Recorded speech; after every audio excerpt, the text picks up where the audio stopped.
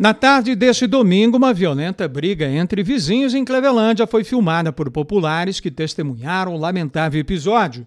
Os homens estavam armados com facões, momento em que outros dois saem do interior de uma casa também armados de foice e facão e se atracam.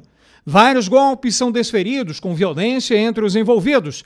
Milagrosamente, ninguém se feriu na briga que tinha todos os elementos para acabar de forma trágica.